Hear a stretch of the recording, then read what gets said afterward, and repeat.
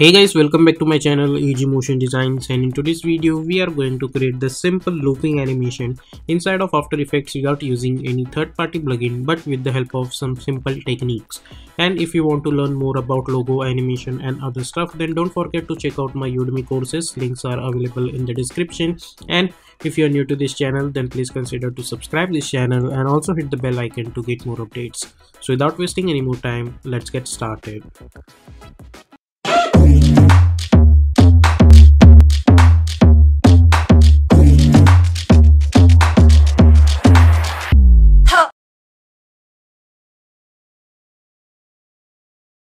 so here we are in adobe after effect let's create a new composition. We will call it as main animation. Width is 1920 height is 180 frame rate is 30 and duration is 30 second. And background color we are going to choose red color just for now and simply hit ok. Then go to choose grid and guide option and simply hit on title selection. Then i'm going to select my ellipse tool. And over here i'm going to choose white color for this fill and by holding shift I'm going to create one ellipse.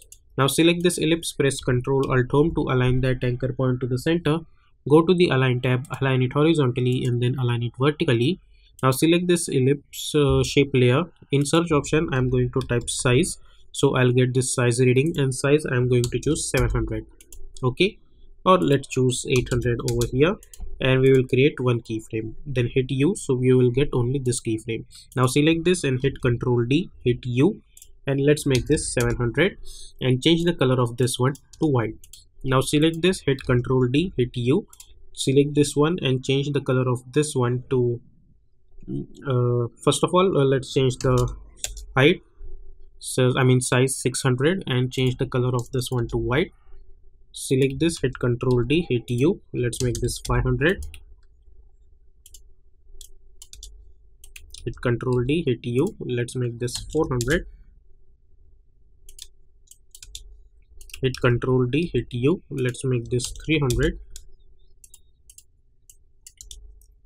hit control d hit u. Let's make this 200 select this hit control d hit u and let's make this 100 and change the color of this one to black. Okay? Now after doing that we will delete those keyframes. We don't sorry we don't need that. So hit u. Then after doing that uh, we will go to the align tab. And over here we are going to choose align bottom. So all of them are going to be aligned at the bottom. But what we need over here this anchor point should be at the center. So for that what we can do uh, i'm going to press y on my keyboard to select my pan behind tool and select this uh, uh, for example this one. And also enable this snapping option over here. So simply bring this anchor point properly at the center. And because we have this ellipse over here which edge is properly touching the center so that's why it is easy to adjust this. That's why i have uh, created only eight uh, ellipse like that then similarly we need to follow this procedure for each and every ellipse. All you need to do simply bring this uh, at the center. So let's zoom in a little bit and let's bring this properly at the center. Over here. We will follow this procedure for each and every ellipse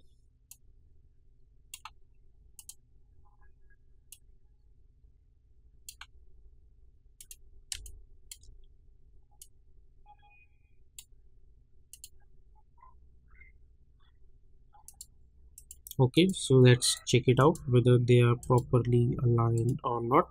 Yep. Now after that what we are going to do i'm going to select this and let's make it a parent with this one. Select this let's make it a parent with this one. Select this and make it a parent with this one. So we will parent with one which is in front of it like this. Okay so our parenting is done. Now simply select all of them and press r for rotation tool create one keyframe zoom in a little bit go to around one second and we will rotate it like this. Let's make this 8 or let's make this 9 over here. Let's go to the start let's make this minus 9 okay? So if you see we'll get something like this. Let's go to around 2 second and let's make this minus 9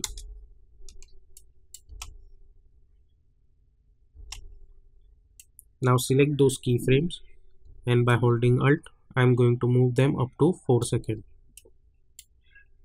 now select those keyframes and hit F9 go to the graph editor select this graph. By holding shift we will move one handle over here and we will move one handle over here. So if you see this animation now we will get something like this. Okay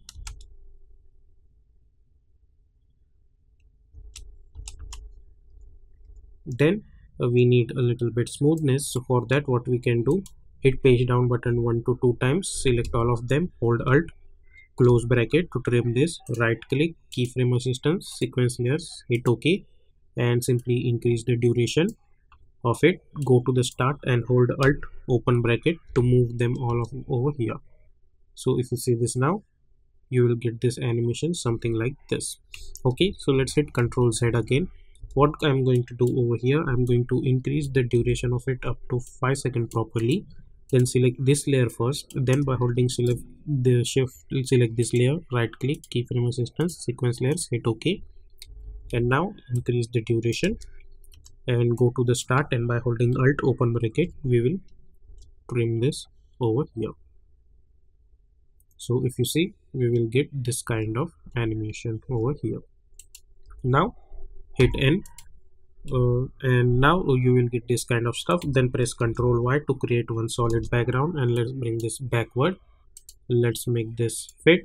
Select the last layer first. Go to the effect and presets panel and search for drop shadow effect and simply make this distance to 20 softness to 400 and uh, color we are going to choose something like bluish stuff over here and you can select this drop shadow effects. You can simply select all of them and hit ctrl v like this. So you will get this kind of depth over here. And if you see this now this animation is in the form of loop. And if you want you can select this one or let's right click new and create one null object. Select this one and let's move this over here. Select this go to the start press r create one keyframe go to the last keyframe which is somewhere around over here and let's make this one complete rotation. Okay let's go to the start and if you hit play now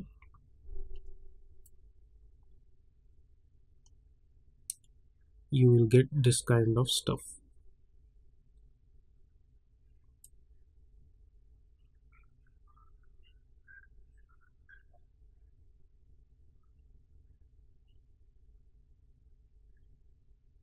like this. And then let's go over here to the last one. Select uh, all of them. Press ctrl shift c. Hit ok. Hold alt. Close bracket. And if you think this is quite uh, slow so you can right click go to the time time stretch. And you can make this 70 for example. And let's go somewhere around over here. And let's hit n over here.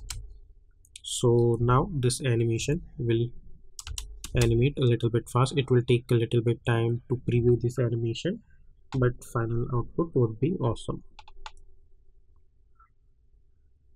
Okay so this is how you can create this kind of continuous looping animation. You can go inside this select all of them and you can enable their motion blur also. So uh, there is a small motion blur over here.